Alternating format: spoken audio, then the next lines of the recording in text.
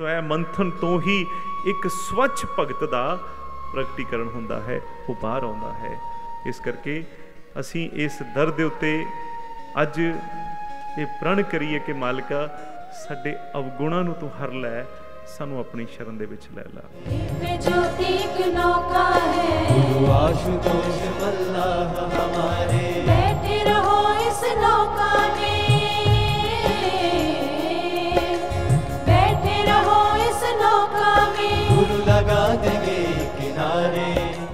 ਅਗਰ ਉਸ ਪਿਆਰੇ ਦੇ ਨਾਲ, ਉਸ ਪ੍ਰੀਤਮ ਦੇ ਨਾਲ ਆਪਣਾ ਜੋ ਪਿਆਰ ਹੈ ਉਸ ਨੂੰ ਚਰਮ ਸੀਮਾ ਤੇ ਲਿਜਾਣਾ ਹੈ, ਅਸੀਂ ਚਾਹੁੰਦੇ ਹਾਂ ਤੇ ਜੋ ਵਿਛੋੜੇ ਦਾ ਟਾਈਮ ਹੈ, ਉਹ ਹਰ ਸੇਵਕ ਨੂੰ ਸਹਿਣਾ ਪੈਂਦਾ ਹੈ। ਸਾਨੂੰ ਵੀ ਜ਼ਰੂਰਤ ਹੈ ਕਿ ਅਸੀਂ ਉਹਨਾਂ ਦੇ ਵਿਰਾਗ ਦੇ ਅੰਦਰ, ਵਿਰਹਾ ਦੇ ਅੰਦਰ ਆਪਣੇ ਅਵਗੁਣਾਂ ਨੂੰ ਖਤਮ ਕਰ ਲਈਏ। ਜ਼ਿੰਦਗੀ ਦੇ ਕਿਸੇ ਵੀ ਮੋੜ ਉਤੇ ਦੁੱਖਾਂ ਦੇ ਪੈਂਦੇ ਸ਼ੋਰ ਕਿਤੇ। ਜਦ ਯਾਦ ਕਰਾਂ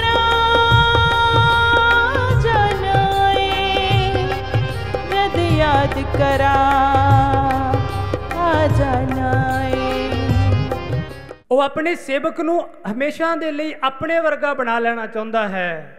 ਉਹ ਕੋਈ ਵੀ ਅਵਗੁਣ ਦੀ ਕਣੀ ਉਹ ਸੇਵਕ ਦੇ ਵਿੱਚ ਛੱਡਣੀ ਨਹੀਂ ਚਾਹੁੰਦਾ ਹੈ। ਫਿਰ ਉਹ ਸੇਵਕ ਦਾ ਨਿਰਮਾਣ ਕਰਦਾ ਹੈ।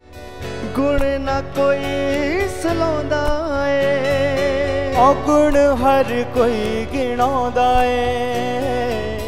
ਕੌਣ ਤੇਰੇ ਬਾਝੋਂ ਰਹਿ ਬਰਾਵੇ ਸਾਡੇ ਤੇ ਪਿਆਰ ਲੁਟਾਉਂਦਾ ਏ ਸਾਡੇ ਤੇ ਪਿਆਰ ਲੁਟਾਉਂਦਾ ਏ ਬਲਦੀਆਂ ਧੁੱਪਾਂ ਔਖੇ ਪੈਂਦੇ ਹੱਥ ਨਾ ਕੋਈ ਫੜਾਉਂਦਾ ਏ ਹੱਥ ਨਾ ਕੋਈ ਫੜਾਉਂਦਾ ਏ हमें सकारात्मकता की पगडंडी नहीं बनानी महाराज जी कहते हैं, राजपथ बनाना है, राजपथ जिससे स्वयं भी निकलो और औरों को भी साथ में लेकर जाओ। सिरे से नई कहानी, आओ हम रच जाएँगे।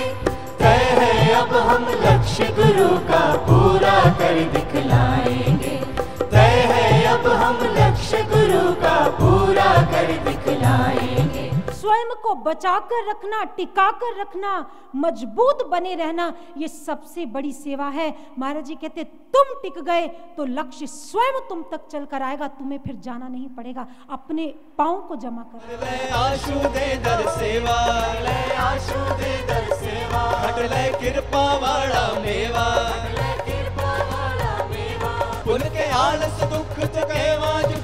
तू हिम्मत करके।